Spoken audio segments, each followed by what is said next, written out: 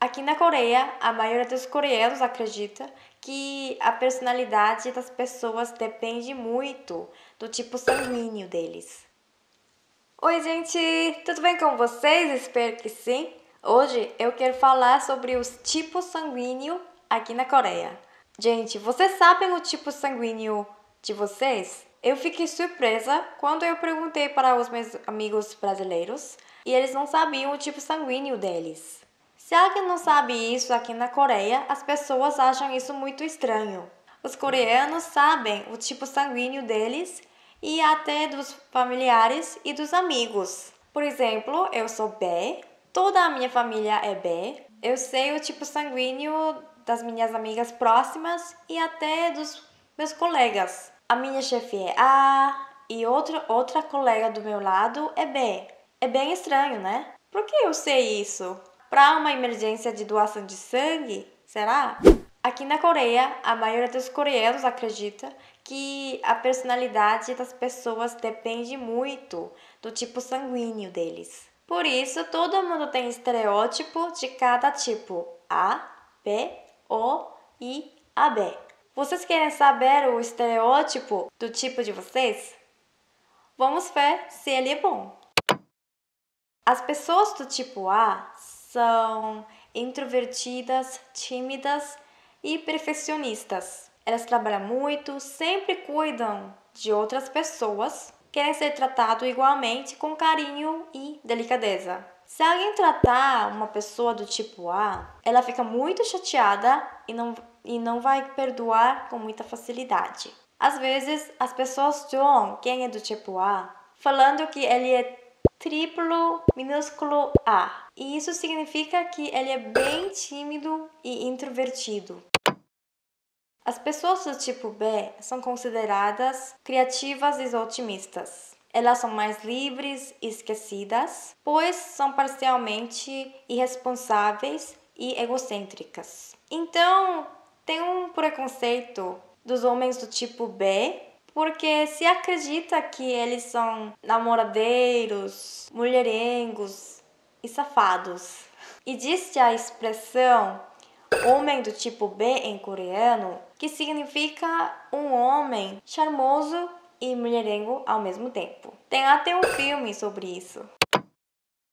As pessoas do tipo O são consideradas sociáveis e extrovertidas elas têm muitos amigos e gostam de liderar grupos. E elas podem ser um pouco arrogantes e ambiciosas. Aqui na Coreia, os coreanos gostam de as pessoas do tipo O porque elas são consideradas mais amigáveis. Segundo uma pesquisa, as mulheres preferem homens do tipo O para se casar.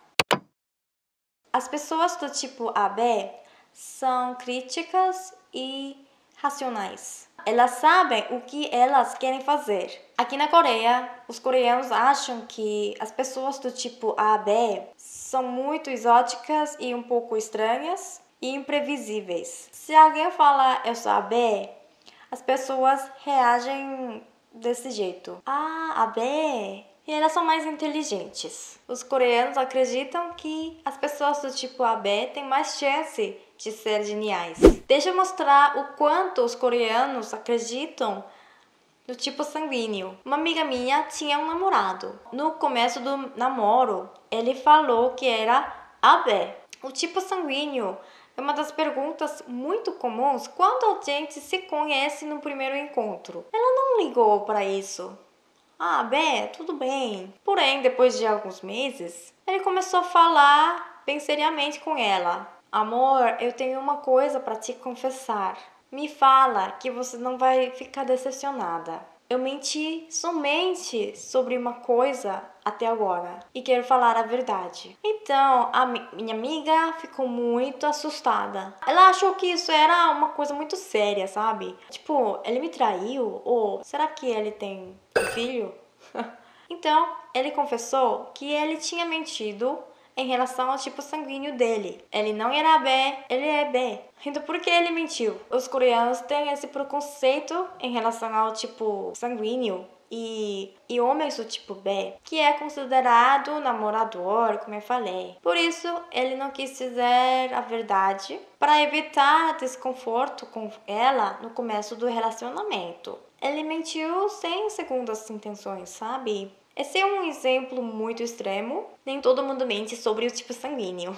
Porém, isso mostra que os, o quanto os coreanos acreditam e levam o tipo sanguíneo a sério. É engraçado, cientificamente, claro que o tipo sanguíneo não tem nada a ver com a personalidade. Então, eu procurei na Wikipedia. Deixa, eu, deixa eu ler.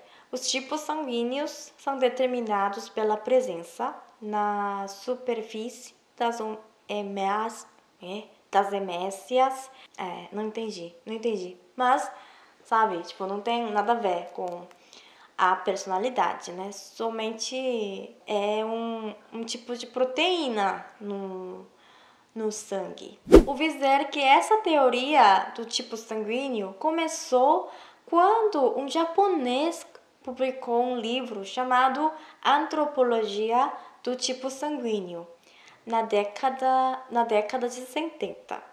O conceito do livro veio para a Coreia e agora todo mundo acredita nisso. No, no Brasil existem os signos de zodíaco e as pessoas acreditam bastante nisso, né? Os coreanos também conhecem esses signos e, as, e algumas pessoas gostam de ler o horóscopo nas revistas de meninas principalmente, e, mas isso não é muito comum. Além disso, as pessoas acreditam no horóscopo chinês, especial, especialmente as pessoas velhas acham isso muito importante. Por exemplo, eu sou tigre no horóscopo chinês. A minha mãe falava que eu precisava me casar muito tarde porque eu sou tigre, eu sou mulher do tigre. Ouvi dizer que a mulher do tigre é considerada muito forte e teimosa, ela dizia. O horóscopo chinês é bem complicado de se entender, por isso os jovens não conhecem muito bem e acreditam mais no tipo sanguíneo. Eu acho que a gente não pode ter preconceito em relação ao tipo sanguíneo e a qualquer outra coisa. A crença nos diferentes de tipo sanguíneo, em especial, não tem base científica, sabe? Os brasileiros acreditam em alguma coisa além do signo? No que vocês acreditam? Me falem nos comentários, por favor. Então, gente, o vídeo de hoje foi isso. Espero que vocês tenham gostado do vídeo. Muito obrigada por me acompanhar dessa vez também. E não se esqueça de se inscrever no meu canal. E até o próximo vídeo. Tchau!